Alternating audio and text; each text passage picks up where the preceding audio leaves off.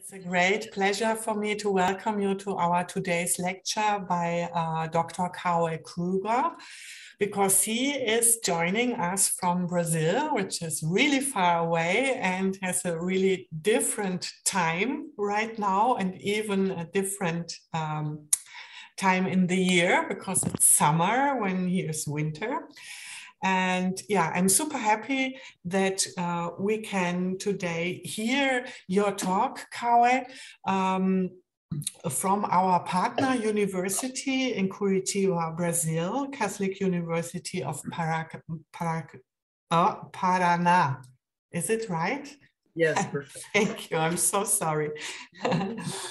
And um, Cauê Krüger is adjunct professor there at this uh, university, and he holds a doctoral and master degrees in anthropology and a bachelor degrees both in social science and theater arts. And this make it super interesting for us because he'll bring in these disciplines that I think are um, major in contemporary discourses on uh, contemporary art, not only performing art, but also I think about uh, anthropology and social science, and of course also this uh, aspect of performance and performative arts. So you bring together all the things that are really uh, trendy right now. And I'm really looking for, forward to your lecture today under the title The Anthropologist as Curator Some Remarks on Brazilian Experiences.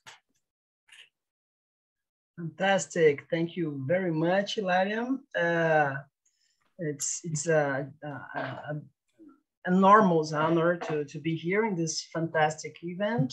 Uh, it's curating the Post Global today, right? So um, I'm very, very happy to this and uh, to, to being here.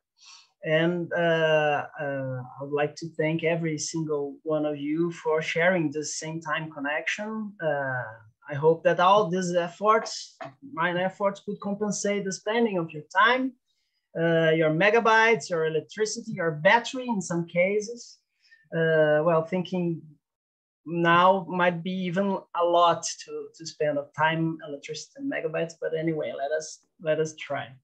So in this lecture, I have chosen to speak about the anthropologist as a curator. It's not a, a, a mine idea. This we we did have already uh, a book uh, authored by Roger Sansi, an anthropologist of, of, of Barcelona University, uh, on, on that integrating this big discussion all around Europe.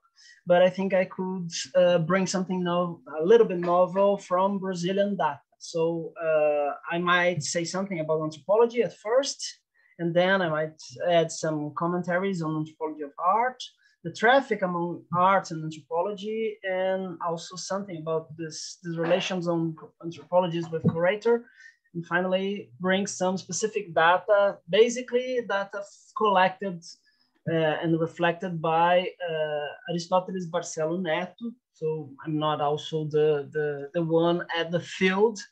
Uh, I'm just a super fan of all these discussions as well. So maybe uh, I, I could join everything to get put everything together in a new light and maybe uh, help to, to, to increase all this discussion.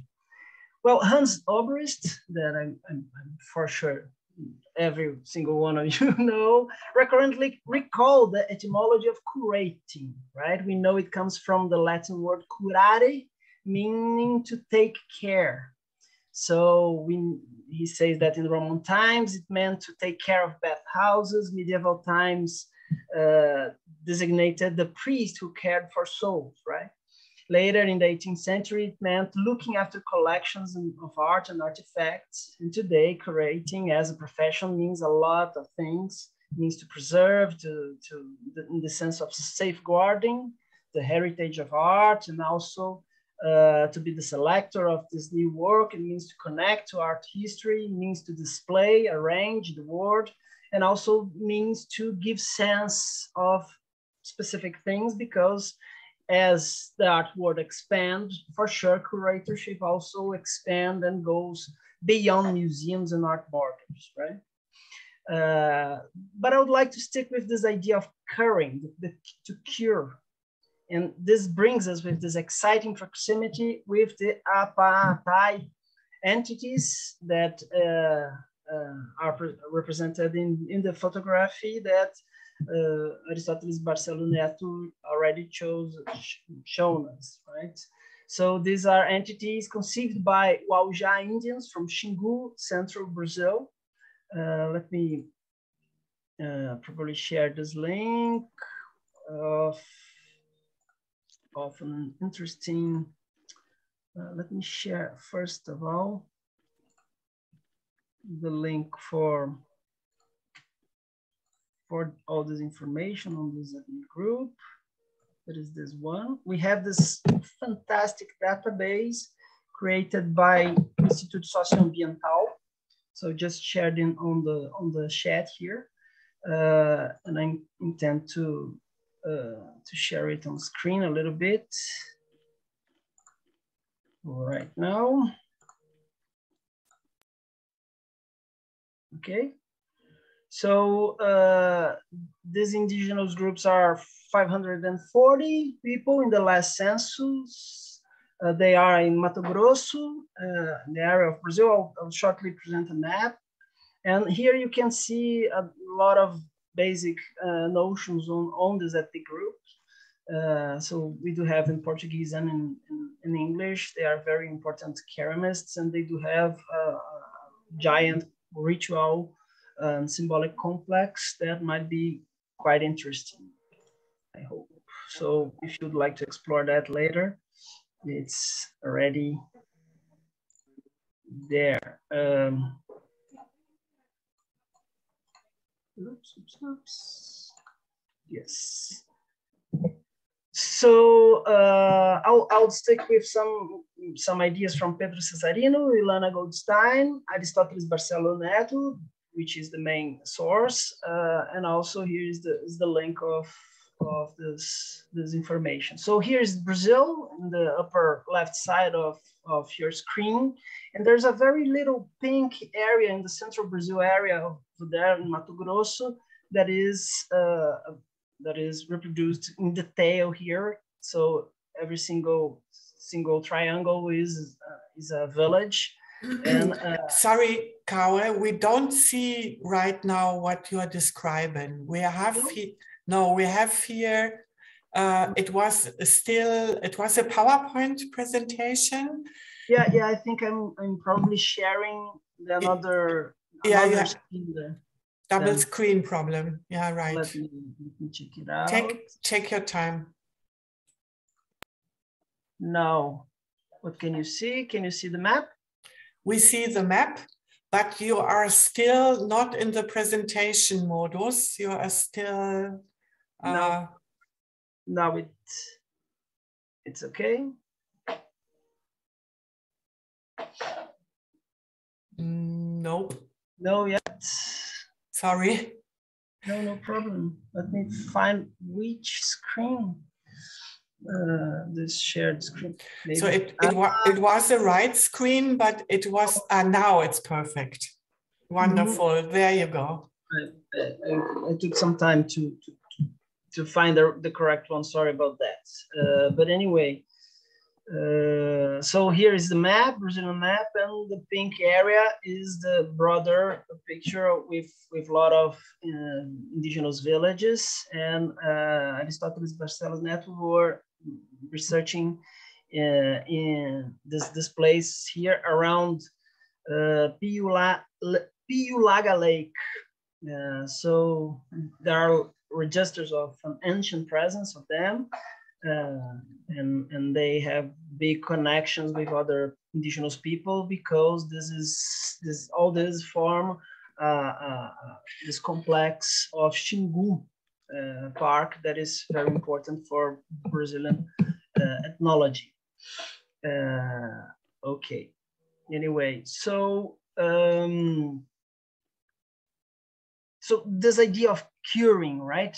I would like to return for, from that. Apaatai entities are conceived by Waujá Indians from Xingu central Brazil as a sort of animals and spirits that cause all this kind of illness. So those objects that are that are displayed over there, especially the objects of of, of those masks that are big and, and enough, but are not the, that central to, to, to, to, ritual complex. The major figure are the flutes and the clarinets. But anyway, they, they represent uh, and they are used in mid, mid-life ritual. So it's something that happened between initiation uh, uh, rituals and mortuary cults. So they are these uh, rituals of, of, of health, actually. So it's absolutely interesting because all this cosmological universe interweave realms that we moderns, in Bruno Latour's term, would div divide or specify, putting aside arenas such as artistic, uh, handicrafts, religious, and medical. So all this for Waujá people is held in a single practice. Uh, I shall speak a little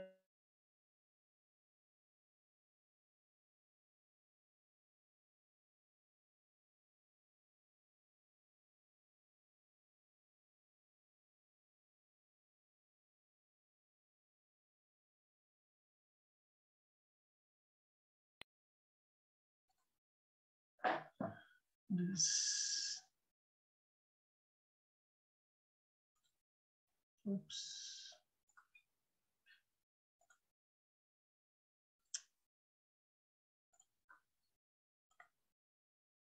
Yeah. So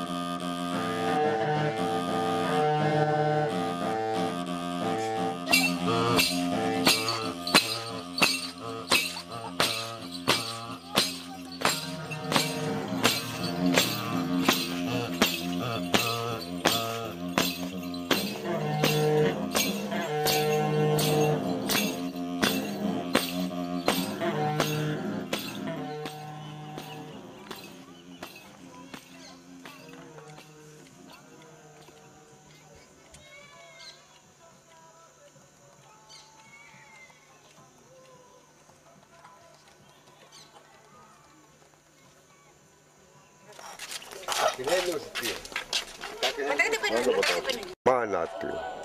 Natlu nunu papa papato.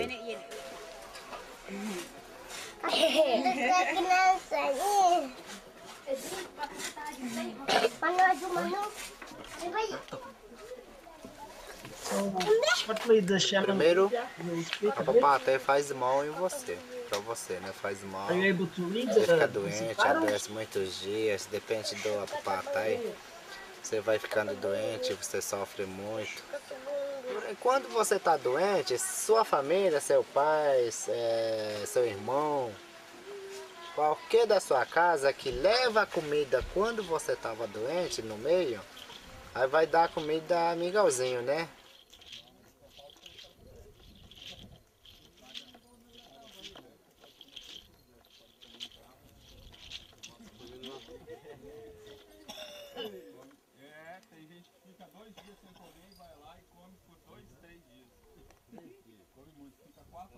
Para adoecer, tem que ter alguma coisa para adoecer. É a papatai que a gente sempre fala. A papatai pode causar, causar alguma coisa, alguma coisa para ele ficar doente. Ficar doente fora do gripe, fora da, da é, doença da cidade, né? Aí esse, esse, essa doença só pode ser curada pelos pajés, né?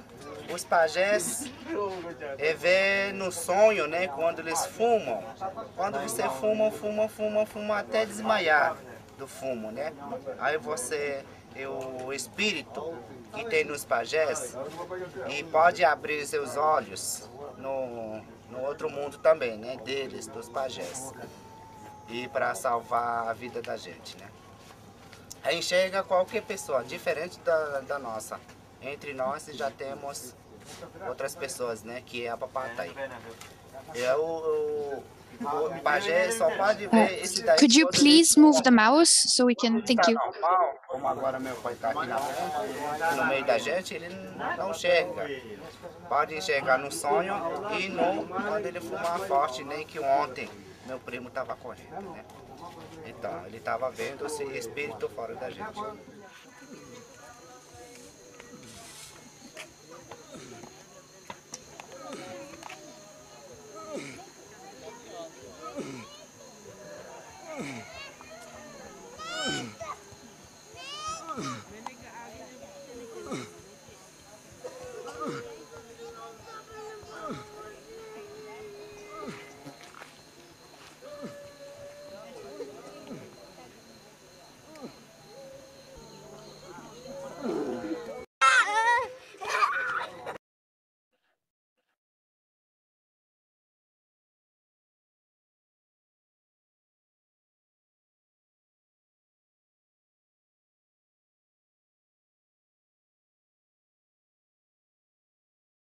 Lord, we, we are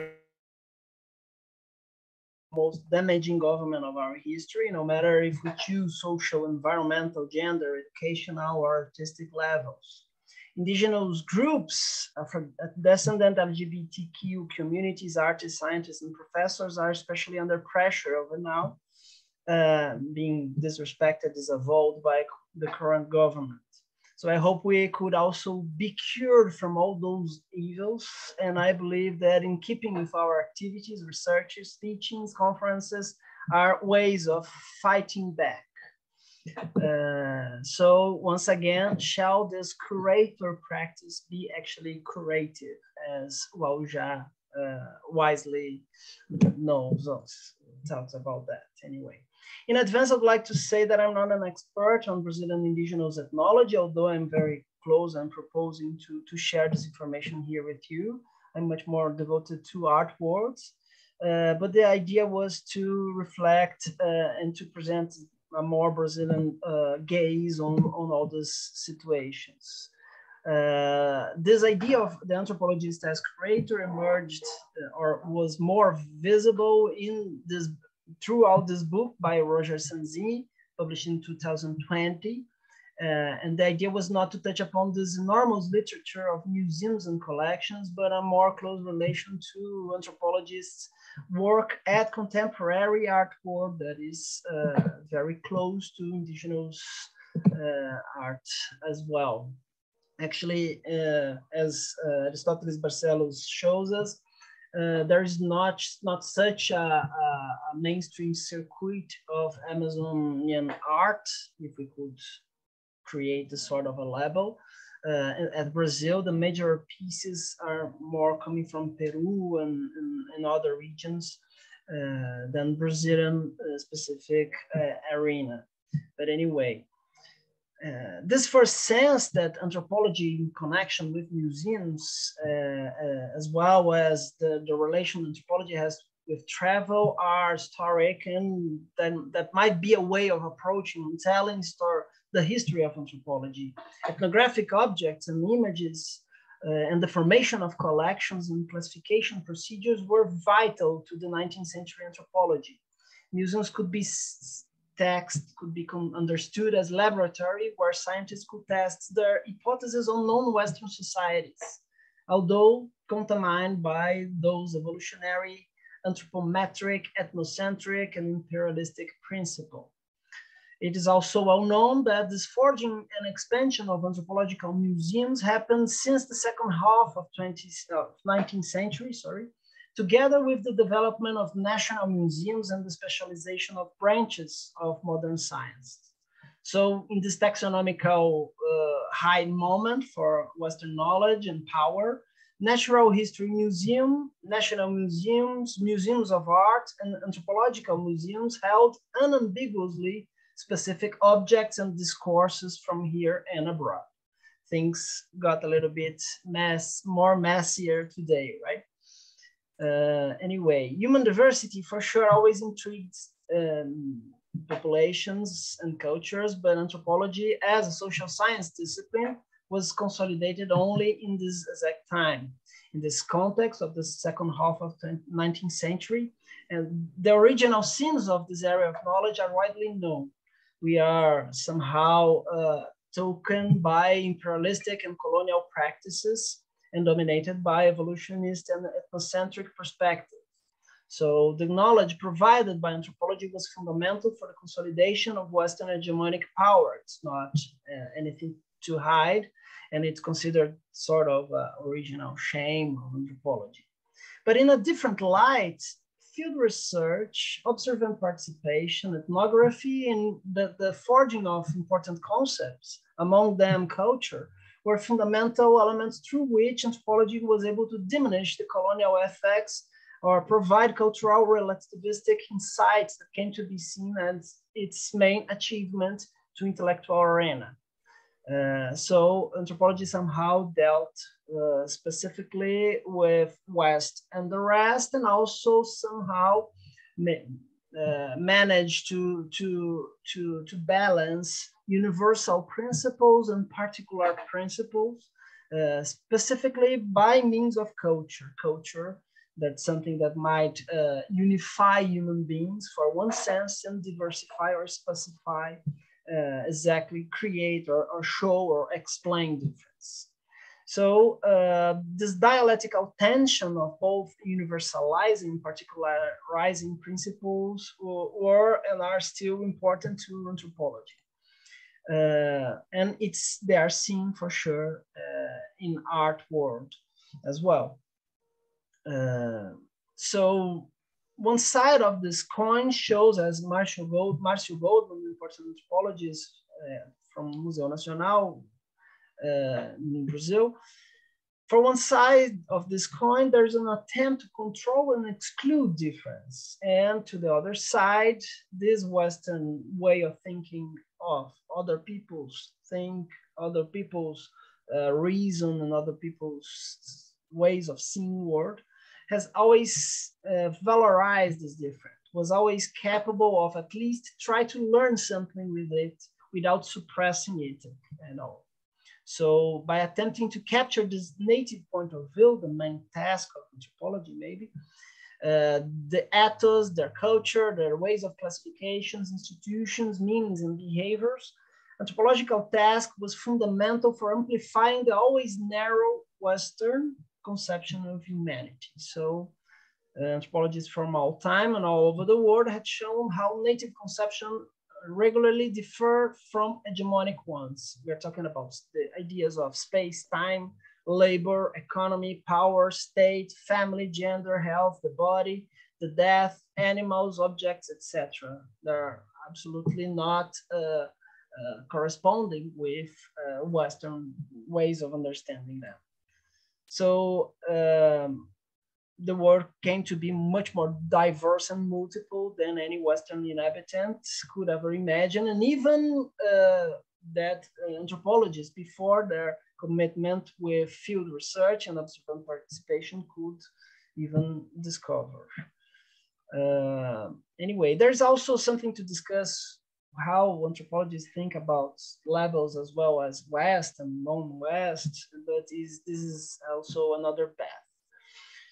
Uh, in, in, some way, therefore, other people's experience were always curated by anthropologists, both in this traditional sense of being edited, translated, reconfigured, selected by specific viewpoint, and also by engaging with a specific lifestyle and and, and the attempt of uh, bringing sense to all this.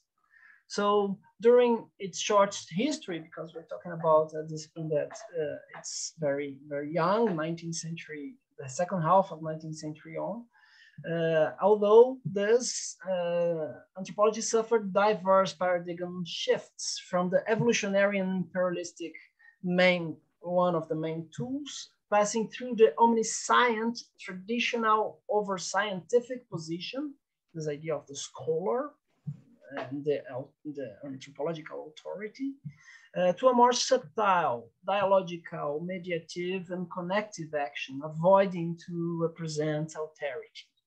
Although this debate may seem particularly uh, on the set today, this paradigm known as postmodern anthropology shift happened at the end of 1980s, uh, especially around the Writing Culture Congress, and based on what James Clifford and George Marcus uh, edited in a very important volume that's called exactly Writing Culture.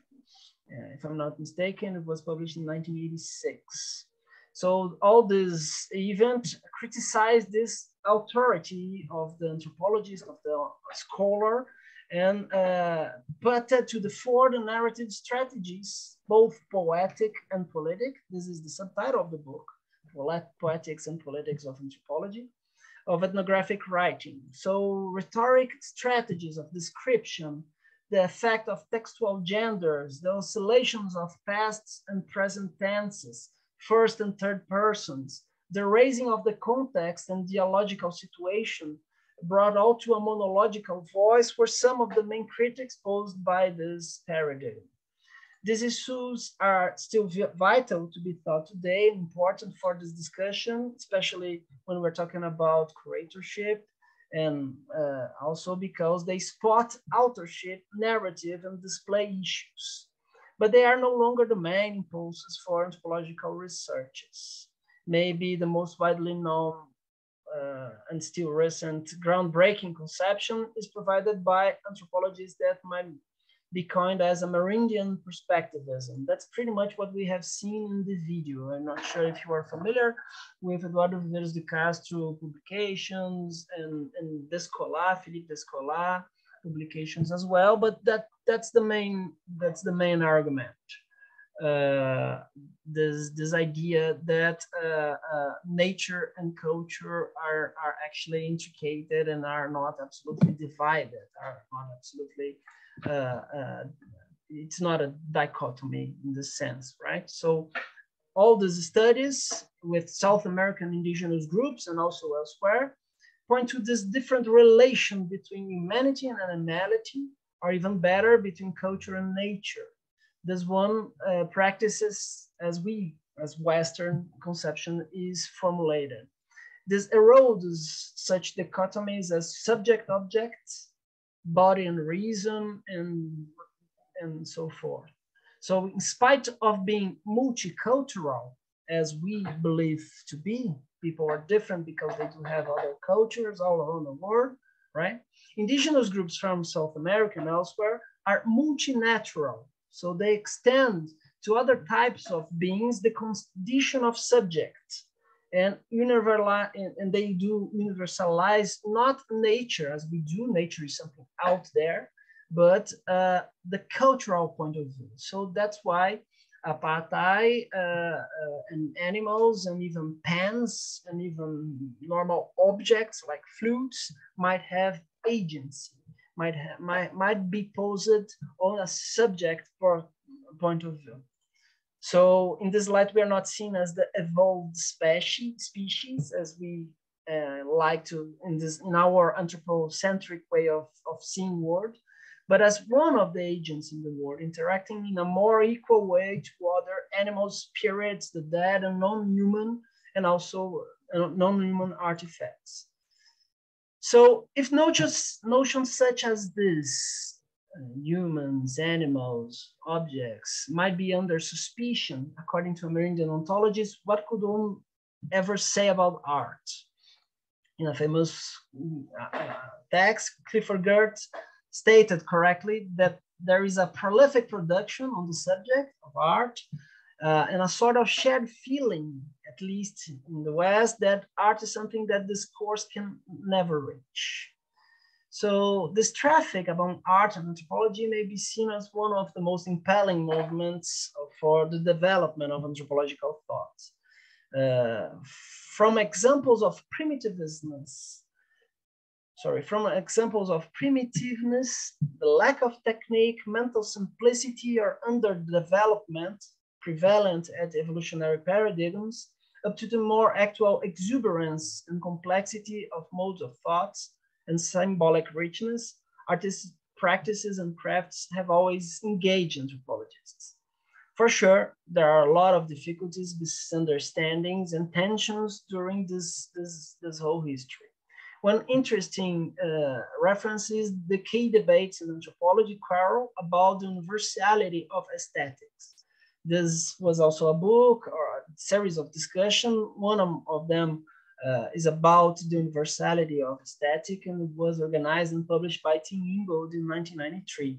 And the debate was exactly uh, on, on that. There were February uh, authors on the, on the premise of universality of aesthetics and contrary ones against this, this proposition.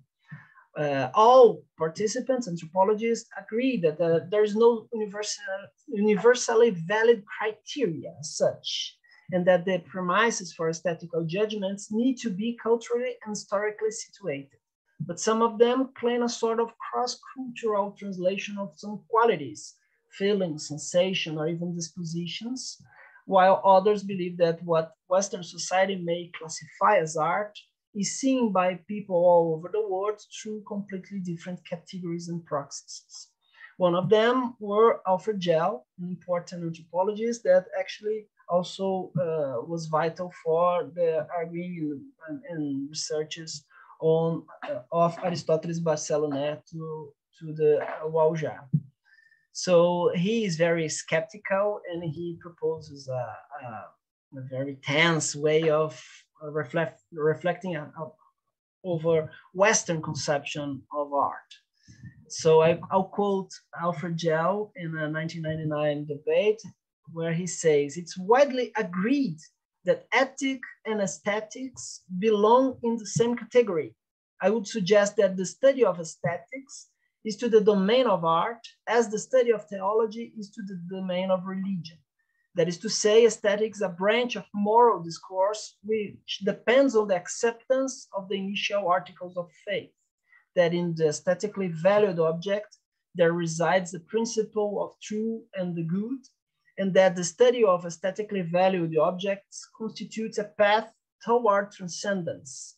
Insofar as such modern souls possess a religion, that religion is the religion of art, the religion whose shrines consist on theaters, libraries, and art galleries, whose priests and bishops are the painters and poets, whose theologians are critics, and whose dogma is the dogma of universal aestheticism well, very provocative and very, very, maybe even antipathic. But that's the, the example for this premise of non-universalizing aspects of, of, of aesthetic. This is still somehow a quarrel because uh, Claude Lévi-Strauss, for instance, a very important anthropologist, uh, French anthropologist, discussed the myths and somehow proposed uh, uh, the structural conception of myths based on some criteria of universality. But anyway, this idea of, of erasing universal principles are, are, are important and were vital for, for Gell, specifically because he proposed, uh, as many of you might, might know, in an, uh, a with, with uh, Arthur Danto, that objects could be subjects and objects of art could be seen as persons, actually. So this sort of predatory relation happened for centuries, uh, for sure, West and the rest, the, the, the, the forming of, of, of artistic collections, ethnographic collections. Uh, and James Clifford has a, a, fantastic article, it's called On Ethnographic Surrealism, where he analyzes these misunderstandings and also the scenario of the 1920 French avant-garde scenario onwards. Uh, so it's very well known and, and, and anyway, the surrealists uh, had some aftermath of the First World War and were absolutely anti-colonial. So uh, they claimed a revolution based on mentality. They aimed to transform themselves as much as transform the world and tended to see colonized people as natural allies. So there is a very interesting provocation also by Els Lagrou, a, a Belgian-born uh, anthropologist, but uh, a naturalized Brazilian one that also teaches at Museu at uh, Federal University of Rio de Janeiro. Uh, and she says about this surrealist context that this engine of such search for other words was the denial of consecrated art objects, craft, and discourses in a need for escaping Western rational and objectifying representation modes.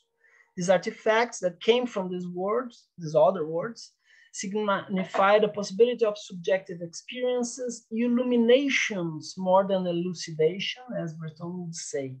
Ethnic artifacts were propulsors for a gaze revolution. According to this author, Wati Demotte, the real program of surrealists was to create a new relation with images, images that did not refer to any outside world, but to one inside world, impelled to manifest itself.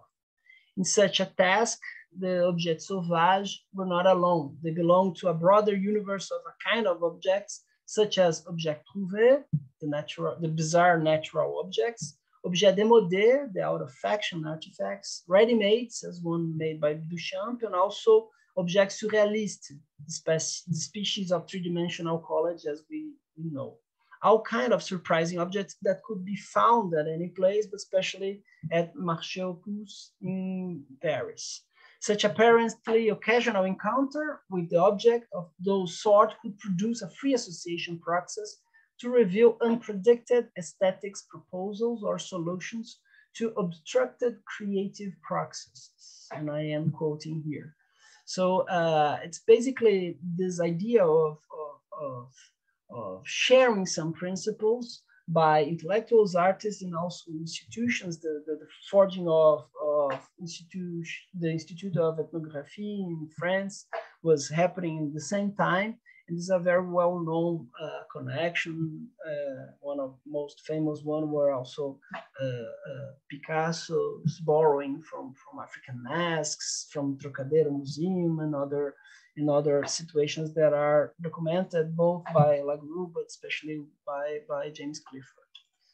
So although the surrealists didn't manifest much interest in this contextualized and relativized analysis, such as anthropologists would do, they had exposed side by side ethnic art and masterpieces to erode this worshipping of canonical Western art such interest on contextualizing and situating specific artifacts and pieces would be common today in this traffic among curatorial practices and anthropology. So we know uh, specifically there are three uh, famous expositions, as we know, in this arena, uh, primitivism in the 20th century art, the affinity of the modern and tribal, held in New York in MoMA in 1984, curated by William Rubin. Art and Artifact in Buffalo Museum of Science, 1989, curated by Susan Vogel. This is exactly the, the case where uh, Alfred Gell and Arthur Danto argued about uh, uh, a Zande uh, uh, hunting net. And Magiciens de la Terre in Centre Georges Pompidou in Paris in 1989, created by Jean Hubert Martin. Uh, well, anyway, so this this discussion also emerged in, in a more close uh, um, uh, tension on, on art and anthropology when uh, uh, Hal Foster published this article that might be also known by you, that is the artist as an as ethnographer. So uh, he proposed, interestingly, uh, this, this sort of double envy process that is still, I think it's still uh, interesting for us to, to highlight because for in his sense, in his perspective, uh, artists could conceive anthropology as the science of authority. Uh, and in this regard, uh, it's absolutely important for, for reading the, the diverse artistic practice. And then also the discipline would take culture as its object and its expanded field of reference that postmodernism and art criticism have long sought to make their own. Uh, third, ethnography is fundamental, considered contextual, considered the root demand for which contemporary artists share with many other practitioners today, So we, we know that uh, a lot of artists and, and, and, and curators do uh, very close uh, activity uh, as an ethnographic one or observant participation one. And fourth, anthropology would be uh, would be seen as able to arbitrate the interdisciplinary, another wrote value in contemporary art theory. Uh, this fifth element, element of envy would be the self-critique of anthropology, based mainly on this, this trying of, of erosion of, of specific concepts. Uh, that also brings this romanticism on the margins. And then uh, Hal Foster questions also some of the specific practices. From one side, they might be absolutely vital. They might be absolutely uh, important, positive, and uh, they might uh, bring to the to the fore. Uh, oops, bring to the fore uh, context, uh, cosmologies, objects, perspectives never seen before. But from other sides, depending on the way of dealing with each uh, ex exhibition, with each curating process, that might be a sort of uh, reification of, of this primitivist fantasy that he, as he asserts, that is this direct connection where the the other, the, the ethnic other would have free access to the unconscious, to, uh, to a more natural perspective, which is sometimes uh, uh, very, very dangerous. So um, Pedro Cesarino is another important anthropologist, and he discusses something very, very close to this to this ex exposition. He's very aware of this exposition, have publishings on that. And um, anyway, he considered that despite the originality and potential actuality, much of this appropriation of non-Western references held by modern artists lead to the establishing of formal analogies and to the creation of formal individual or national mythologies that to an effective study of intellectual and static alien horizons, modern appropriations and inventions of the other and of his object, their objects, were not exactly oriented to disarm the referred dichotomies, even though they try to bring positive status to the primitive in their static and ways of transgressions. Um, so uh, maybe there there are some some positive uh, uh, conceptions on that. Novel ideas on that.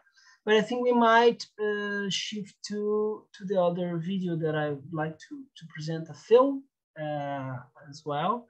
That is this process made by uh, Aristoteles Barcelos Neto when he brought some of this uh, Waujá uh, art, art at, uh, to France. So Aristotle, just before doing, uh, finishing his, his doctor degree, uh, Barcelos Neto contacted Musée du Quai, Musée du Quai Branly in, in, in Paris and dealt with with the possibility of doing this very giant ritual uh, performance that is called Apaatai. And actually, Musée du Quai alone couldn't afford all those proxies. Actually, they wanted to be a performance and not to be an installation, not to be a collection. So they dealt a little bit and they discussed a little bit. Indigenous group didn't want uh, to, to be just a performance. That's not, not uh, only possible because there are a lot of uh, infrastructural discussions and, and, and, and, procedures that must be respected. So uh, according to another uh, connections with Radio France, they actually brought this this all this to the to to France to Montpellier in a park. So uh, and all this was documented by the author as well. So this is the video that I would like that I'm I'm, I'm, I'm showing some some bits, some part here uh, for us to discuss because I think it's more closely even related to the the, the, the universe that we might uh, approach on, on, criticizing or not uh, Western conception. So, uh, are you seeing already the the, the image, right?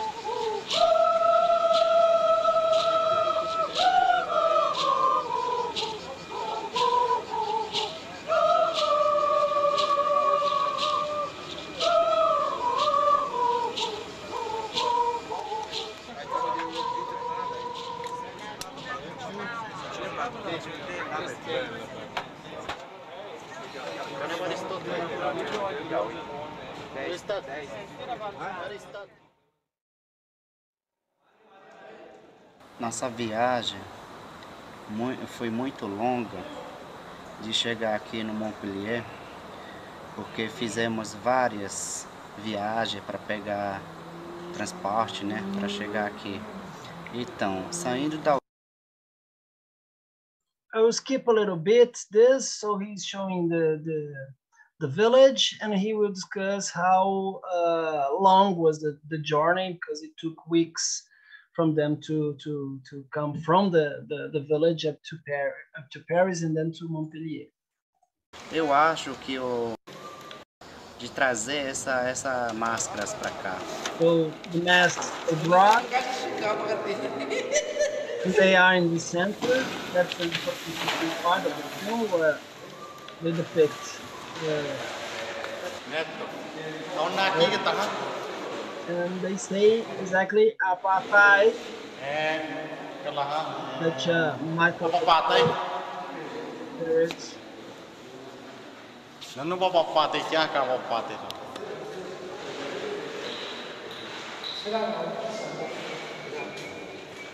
Eu comprei na velho, velho castelo. This old chat, this old castle would be full of Apaatai as well. So that's the place where they performed. Uh, they create a little house and they rehearsed a lot. Aonde vai? And performed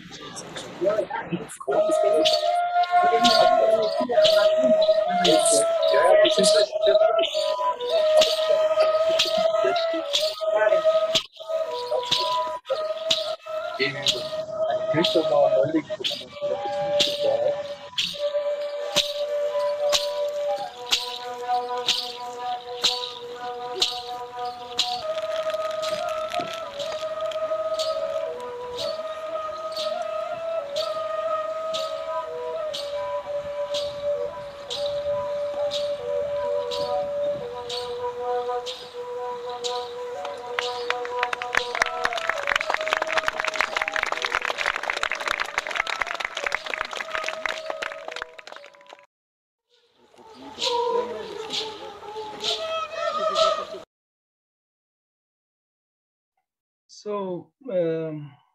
just wa- like to show a little bit of the big mask. Very impressive. So you might see, uh, maybe the room, and they are some dancing. The video and they go up to the night. Public how such These are uh, wear masks. They represent specific Apaatai. Not represent. They, they, they bring and they interact with the. Uh, actually, the point is that this is not a exactly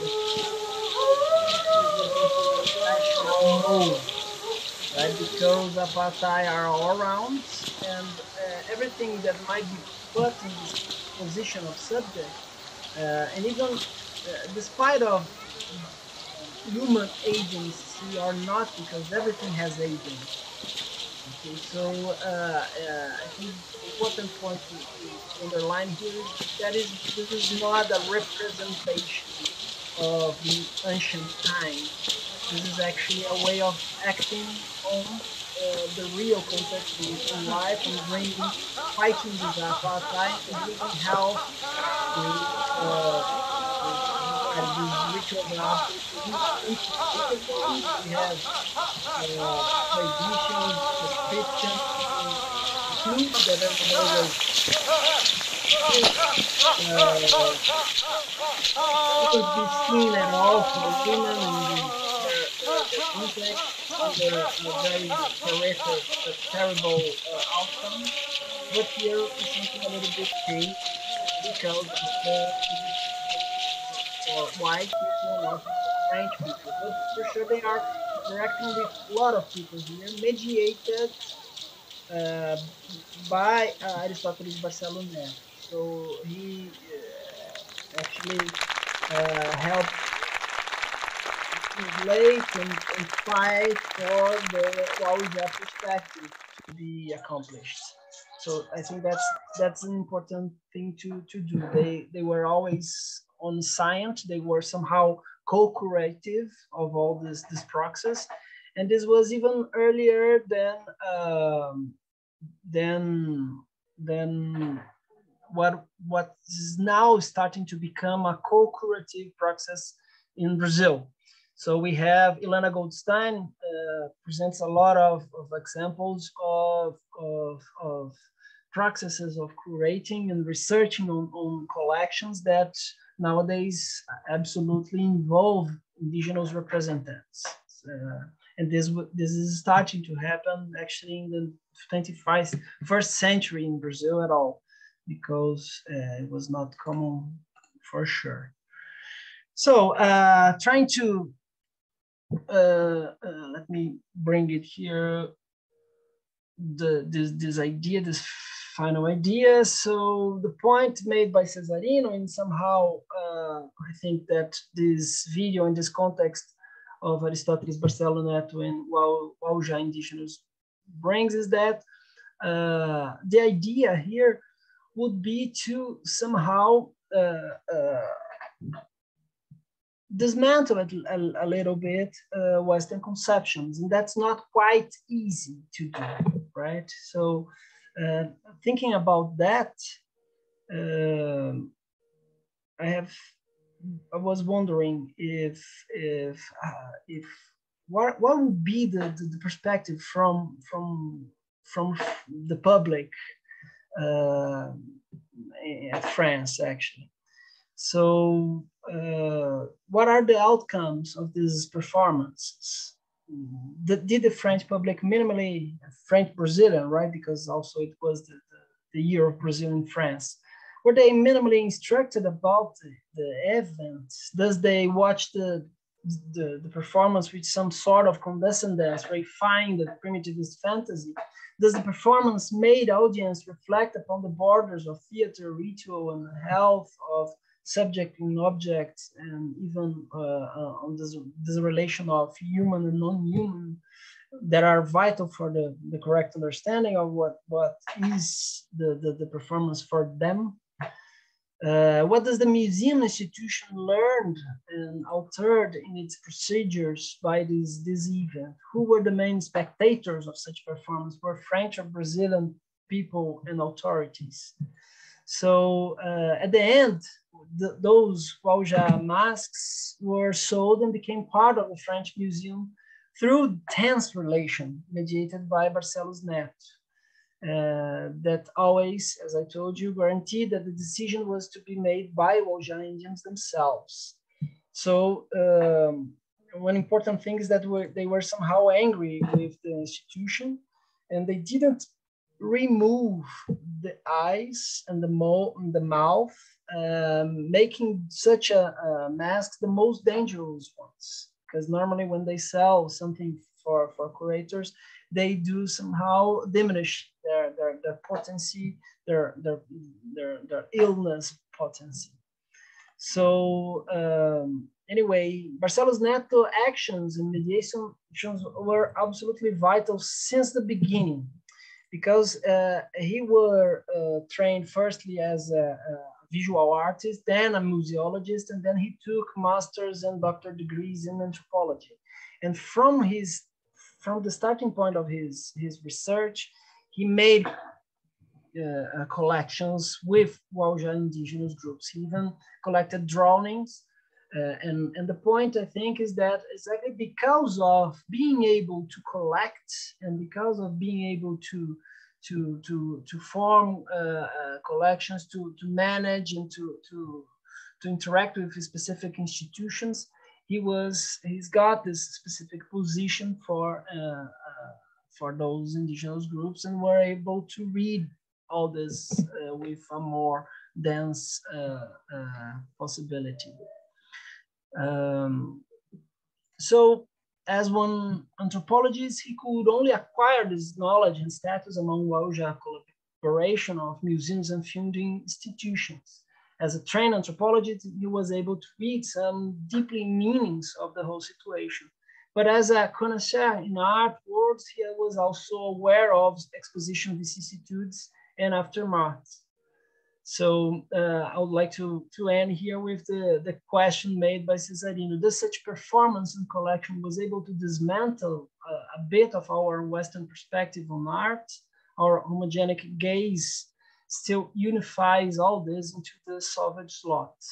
For one sense, they were all abroad, they were all in an absolutely diverse area, arena. It was not the White Cube. Uh, um, but we are also lacking the, the possible mediation processes uh, and also lacking the, the, possible feedbacks from, from the public that were still in a sort of a passive uh, position in, in, all this. Anyway, the masks were around, uh, the ritual was done, and I hope that the Apaatai uh, could still somehow be, be, be dominated for the biggest cure of, of Brazilians, French, and why not Austrian people as well. I think uh, that will be it so far. And, I'll, and anyway, I'll be glad to open a, a sort of a more uh, direct conversation. I'm able to, to, to listen to some critics and to, to, to I don't know, some, some questions of, of, of more sharply and directly dialogic uh, conversation if, if you feel so. Thank you very much. Thank you, Cauê. Thank you for this rich overview. First, the rich introduction into seminal text of anthropology, because yeah, nobody of us is a trained anthropologist. Uh, but of course, um, we have some knowledge even some superficial knowledge about this, um, many of the authors that you cited. Uh, but uh, I would, um, but basically your paper, uh, I mean, you, you put up like the basic question that we deal here with the whole lecture series. So how to interact with the other uh, with this very lively uh, example from Brazil. And yeah, I would now invite students to make questions, uh, any kind of questions, because in the chat we had also some problems with the audio sometimes.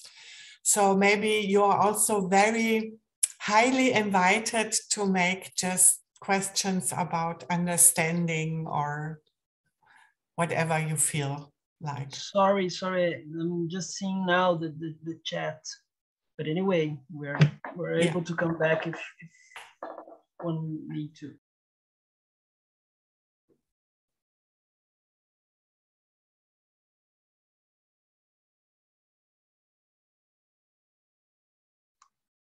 Um, sir, thank you for your presentation. Uh, uh, as a French guy, I got a question about um, what do you think about the French ethnologist Philippe Descola and his works about nature and culture and the debates uh, between the, these two topics? Great, Henri. Merci bien. Uh, I'm not a, a, an expert on, on ethnology, but uh, for sure, Philippe Descola is a, is a, was absolutely influent also for uh, this perspective is animist, uh, uh, naturalist conceptions. Uh, and I think they are somehow very close because the basic assumption on, on, on trying to, to integrate differently this idea that that uh, nature and culture are are absolutely a divide uh, was fundamental for, for, as well. I think Bruno Latour, Philippe Descola, and Viveiros de Castro and other authors that are dealing with that uh, help us to understand uh, quite better the diversity of, of of those of those people actually and of, of how can we even think about different ontologies or how can we even uh, reflect different about uh, about ourselves and this was very radical because uh, uh anthropology itself was absolutely fundamental for this this proposal that's quite dominant all over the world of this multiculturalism so somehow we are all one we are our species, we are somehow seen as, as the elected species because of moral, because of language, because of religion, because of, uh, I don't know, because of the thumbs or whatever we could select to, to somehow uh, detach ourselves from the world, right? And all these anthropologists are absolutely fundamental, and not, not them, but the, the work done by them with indigenous people that somehow are not seen as, as agents in this, this process are very interesting exactly because they they question ourselves on, on that so they they show how uh, in a very quoting by head here Viveiros Castro famous article how uh, uh, how less human we are when we divide nature and culture in this way. When we uh, spare, uh, make this, this, this, this, this sharp divide among subjects and objects and among human and animals and environment and spirits in, in ways that uh, would, wouldn't be absolutely thinkable from them. Uh, so I think that's a, a, a fantastic um, challenge for even for curatorship because uh, um, the drawings uh, show something that can be also an object and that can that is also an animal and that that is also enacted in specific ways in ritual performances. So the big point uh, and that's something maybe i'm not that expert to to to explain to you exactly what is the the the tension point among the Philippe Descola and uh, de Castro and Barcelos Neto on that. But the point is that, uh, as, as Barcelos Neto states, the transformation is the biggest, uh, is the biggest uh, recurrent uh, argument on uh, Amazonian art in, in general. So exactly this flux of, of entities uh, because the, the conception is, is based, as Viveiros Castro pose it, uh, every single being sees the world as we do, as we human do. What changes is the body, but the point is that the, the, the uh, when the, the we're talking with other others kinds of body, we're talking about the discussion of production. So if I'm interacting with, I don't know, a chicken, chicken might see me as a sort of a jaguar, as a, not as a human being. And if I'm seeing an, an spirit, I probably see it uh, also as a jaguar. Uh, so uh, this idea that that there's something uh, unifying uh, the living beings, despite the form or the body they are, is absolutely vital, and that's that's tricky for us because we are not used to to to able or to consider that objects might have agency that that that the shape of things could shift from a drawing to a pen to uh, I don't know a, a flute uh, and to a specific agency made by mask. So they knew know that they are somehow engaging with that. So they are creating the performance. They are creating the masks and they are singing the the, the songs and they are feeding them the the, the mask. Uh, they're taking care of them. So they're controlling the spirits, etc.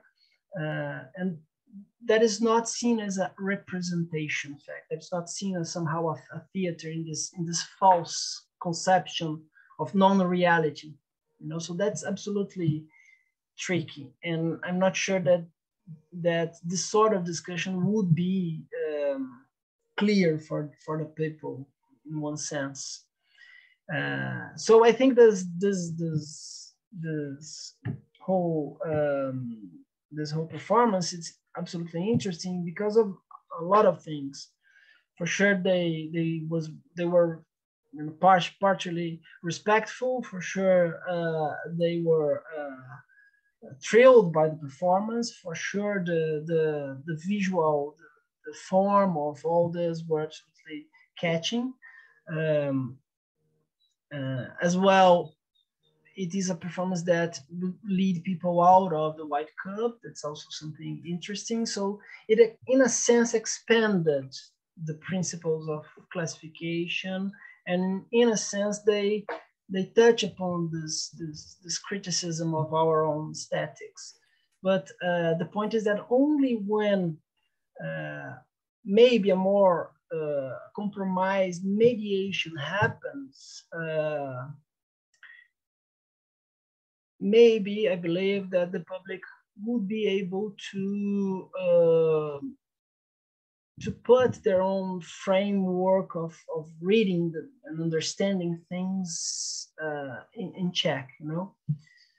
Uh, so I think that's something that maybe was not a, Barcelos was not able to do exactly, but by doing the, the documentary and by publishing a lot of articles and, and materials on, on all this collection. He ended up doing this, but not for, from them, from the ones on, on that specific moment at Montpellier. my point of view. Thank you. Do we have any more questions?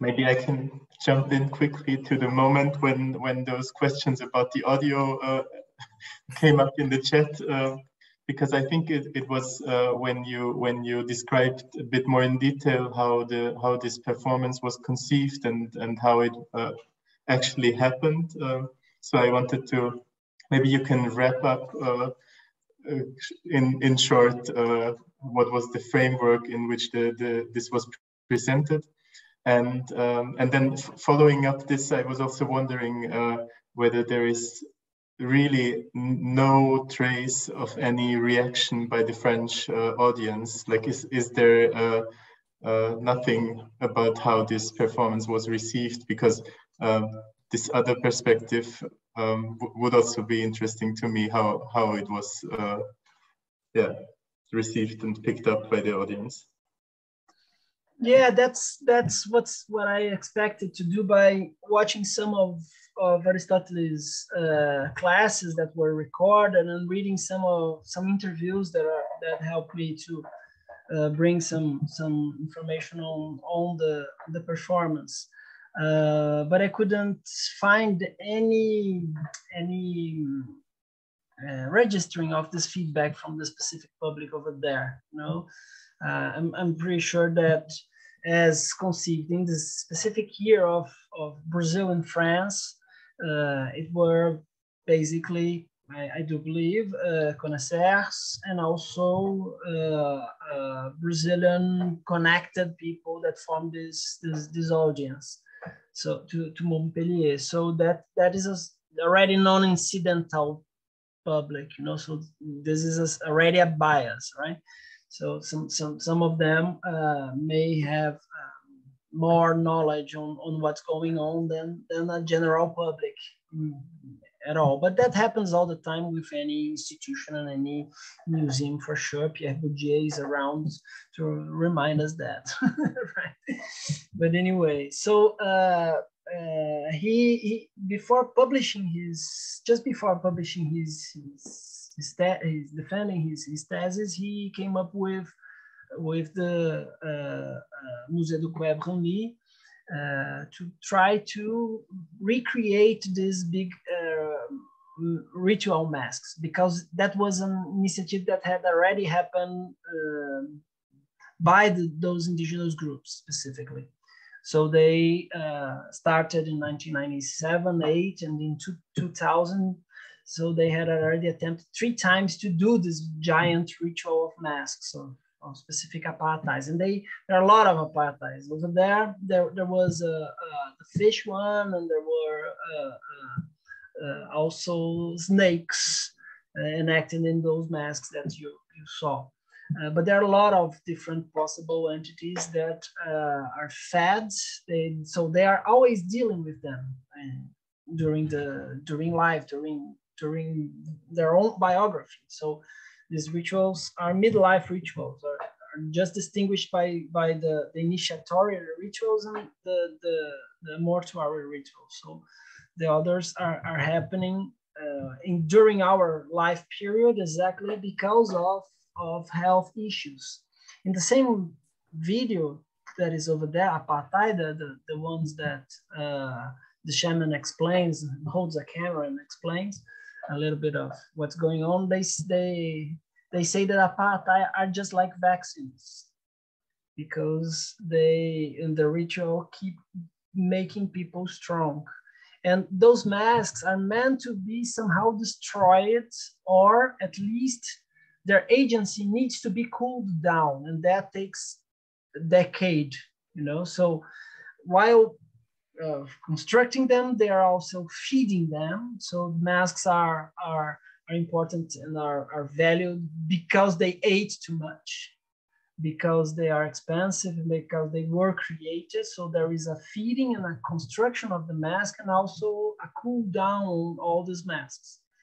Uh, there was a lot of, there was a, sort of a conflict because the uh, the museum Musée du Quai didn't want to to receive uh, a collection. They wanted just to do this performance, and they wanted the mask to be burned just after the the performance. For sure, the indigenous didn't want uh, that to happen because they are also uh, know the potentiality of the selling of their their art crafts and how important is that uh, uh, in economic uh, aspects, but also for white people to to understand a little bit of their cultures. They are they're displaying also the ways of, of, of being, and they are somehow teaching also the whites how to how to do it. So uh, there was a, a, big tension about that, and after probably mediations uh, uh, of of Barcelos Neto, they agreed of forming this collection especially because they they understood that those masks was absolutely rare. Actually, there's no such a mask in any Brazilian museum. That's another interesting thing to to say, uh, because uh, well, those those collections need to be cared. Uh, uh they're expensive to, to, to, to care. Also, um, they have uh, other other difficulties as well. So anyway, in all this process, uh, succeeded in, in, creating this, this, this ritual and they uh, find Montpellier in, in that park a, a, nice place for the, for the exhibition. But this meant, this had a, a lot of, of economical and technical uh, troubles to, to, to be solved. They needed to, to build the house, they need to to create and to, to form the masks. They rehearsed before, um, and then they displayed for, for those audience that is, is lacking. This information is still lacking. When, how does the public was recruited, what was the mediator presented to, to the public, and even the assessment of, uh, of the, the, the performance uh, is, is badly documented. The, the, the film ends with uh, an interviewer questioning the, the shaman what they took from all this, and they say they, they are very happy to show their, the, the, the, the ritual in the right way for whites, for Brazilians, and also for French. Um, so this is not the whole picture, right? So they know that they are engaging with others. They know that they are uh, also uh, uh, uh, being active and, and capturing somehow other webs of institutions and of subjects. Uh, and they are also politically clever in, in, in this sense. Um, so I think basically that maybe I have told uh, also that the masks are not the, the biggest, uh, the biggest and more most important instrument. There is a flute, a flute and a clarinet. They are absolutely taboo for a woman. Women can't see them at all. Uh, they're ter terrible uh, uh, problems if any woman sees them. Uh, uh, the fruits, but they were displayed over there because it was for white people, for foreigners, and not for Waujá women, uh. Uh, and there are also other instruments around. So there's a drum, a giant drum. There are accompanying those those those those crafts. So we do have the complex of flutes, the drums. There are the singing and the dancing that go together in important ways, and also the masks that uh, presentifies, maybe not represent, but presentifies those such Apaatai. Yeah. Yeah, thank you. Um, I find it uh, um, very interesting how careful you present this um, this example because you you are you are most prolific and uh, and giving already the pro and contra that we discussed a lot here um, how how to uh, engage with different cultures to question something the possibilities of uh, exhibiting something like local and global uh, divides.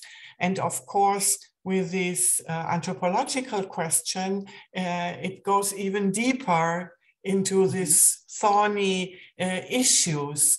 And what I liked now about your discussion was that you showed a way to do it.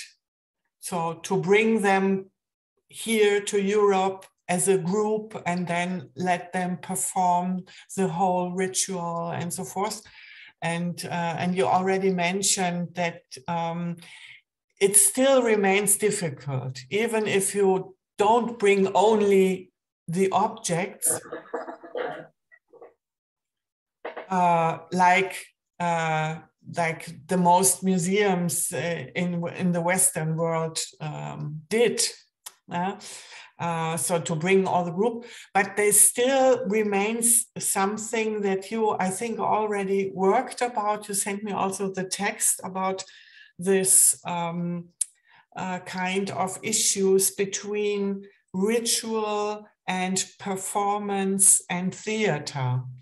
Because in a way, it ended up what we saw was the French uh, audience uh, sitting there uh, very nicely in this beautiful uh, park slope. Mm-hmm. And mm-hmm. it came to my mind that then is it is like a kind of theater or something like again you know like folklore uh, exposed but on the other hand you showed you gave some hints how to deal with this aspect so to give more information, to do the interviews with them, and uh, to give documentation and uh, scientific um, work together.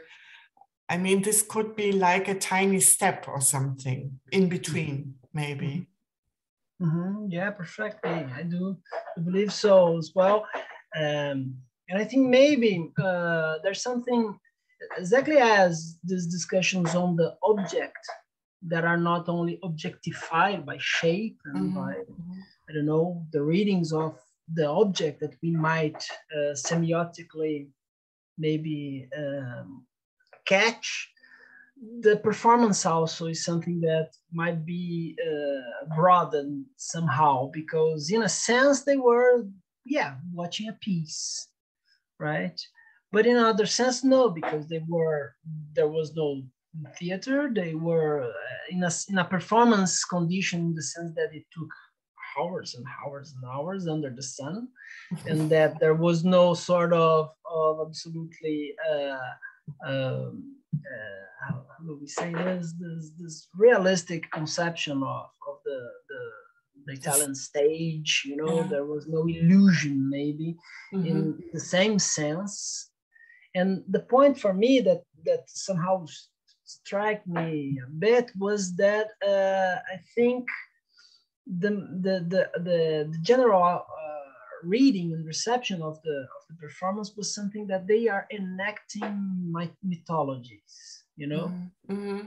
And I think that would be the point. I think that uh, if we would, I wouldn't be able, maybe even Aristoteles would be able to redo it because uh, it's interesting because uh, this thing happened only be, only due to a specific collaboration among institution, govern, Brazilian government, uh, French government, uh, Musée du Quai, and other political instances. So this is not free from all this web of institutional collaboration in politics.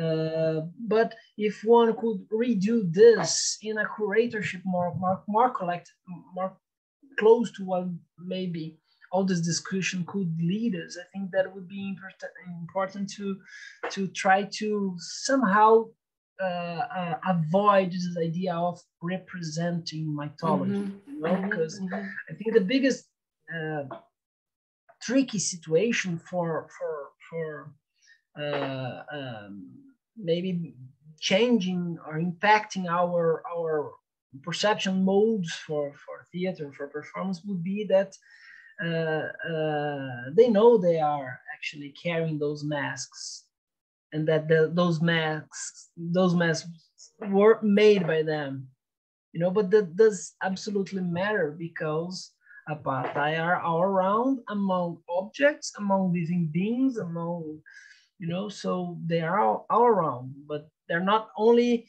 uh, only shamans are able to see them in specific situation actually Mhm. when they when they smoke when uh, the, the the tobacco or in the in the in other case when they they have the the hallucinations caused by other other uh, dispositives and then they see the images and then they understand what's really going on on the on the on the situation you know so that's quite interesting uh, because somehow we can uh, reflect a little bit about what does representation means even for us.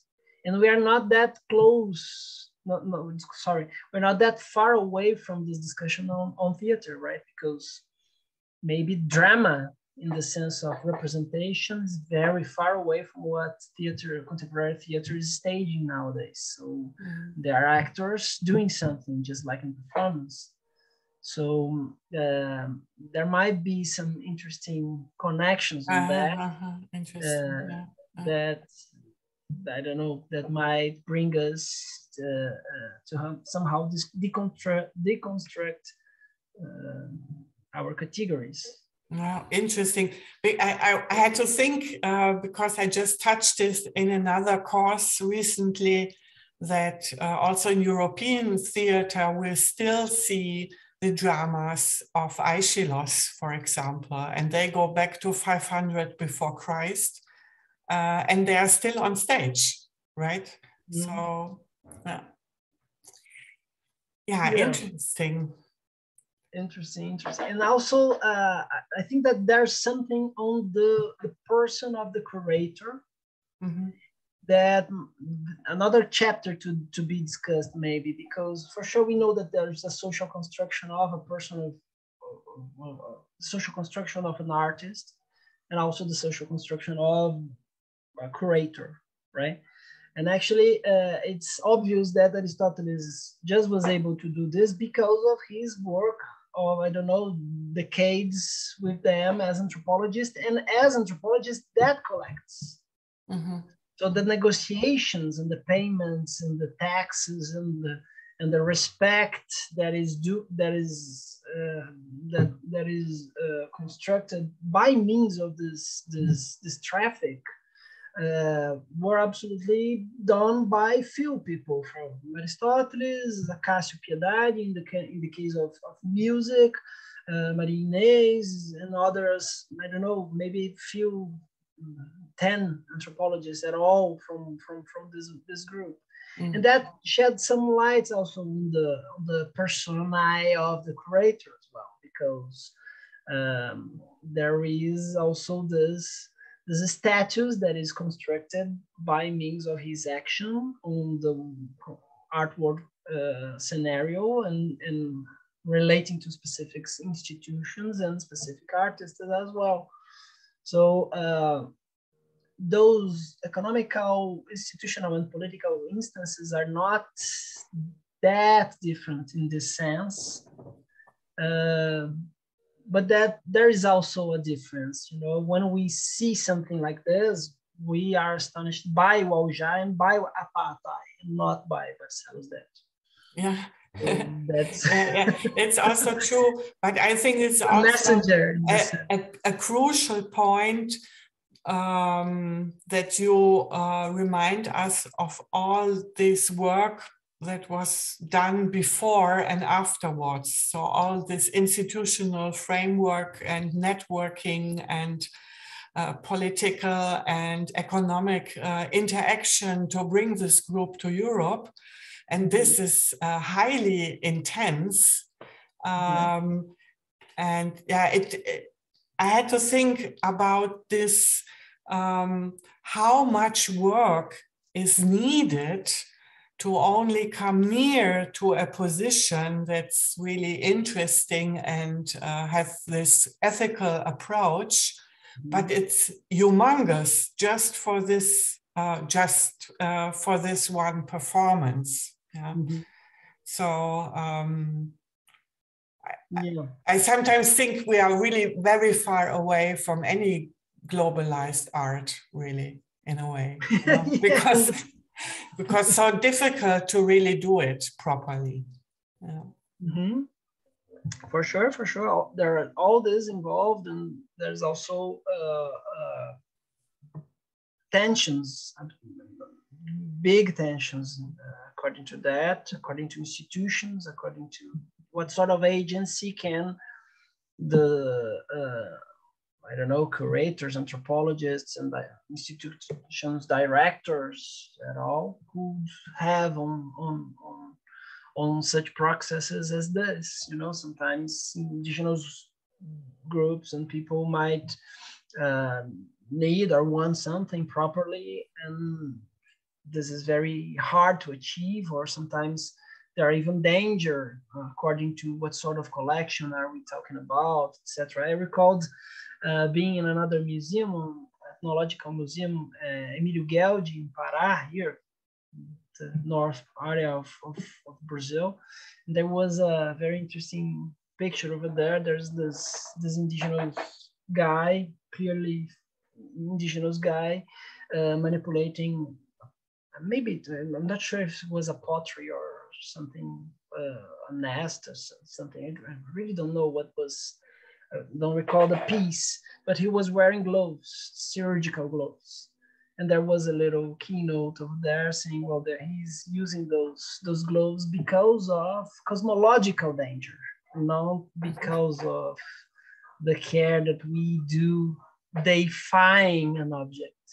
You know, he's using that because though such an object needed to be destroyed with his owner so as he was curated and as it was collected, uh, it, it, it carried with them, it carried with, with its sort of cosmological danger. So that's quite interesting, the appropriation of chirurgical gloves by indigenous groups, exactly because of uh, ontological and cosmological perspectives. So this is very tricky.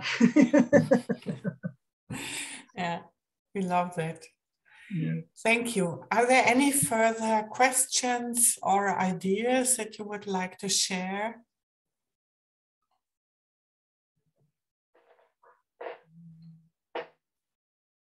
Anyway, we can keep in touch as well. Uh, I will type my my name over here. You So yeah, everyone, I wrote only to to you that had written me before So, uh, now we have it. Thank you very much. This is your contact, but uh, we're also working very hard um, on the staff mobility of Cauê Krüger. So uh, I invited him to come over to Europe uh, for our next summer term. That's already starting in March. Uh, so it's uh, really just a short amount of time. And he's going to teach a course about contemporary Brazilian art and hopefully also a little bit of anthropology for dummies. Yeah. Not at all. We have seen how how things are close in the sense. yeah, yeah, super interesting. But um, yeah, I think he is going to teach, but I will accompany this course. Uh, he's going to teach in English first via Zoom, and then hopefully uh, he manages to come to Linz in May. So we are working on that. And we have also to face institutional um, uh, uh, queries and no institutional uh, procedures. Uh, and also, of course, the pandemic situation is um, also kind of complicating everything. But hopefully, I'm, I'm really positive uh, about the idea that you managed to come to Linz and that we can uh, yeah, have a follow-up discussion and uh, of these issues and that we can show you around our tiny university and yeah, have a good time together. Major honor and would be a pleasure for me for sure. I promise not to bring any ethnographic object, but I hopefully I intend to carry some Apaatai and some knowledge of how to to to make Apaatai cure us all from this this disease maybe more yeah than... maybe maybe. Everything can help i think. Why not right? Thank you so much for your audience and for your time you're very welcome. patience for all this. Uh, i'm looking very forward to keep in touch with you and uh, being there at may thank you so we keep in touch anyway and we with the course we need again and for the last time next week in presence, please. But we will remind you of that via mail. So thank you very much. Bye bye. Thank you. Bye bye. Thank you. Bye bye. Thank you. Bye. Ciao. Ciao.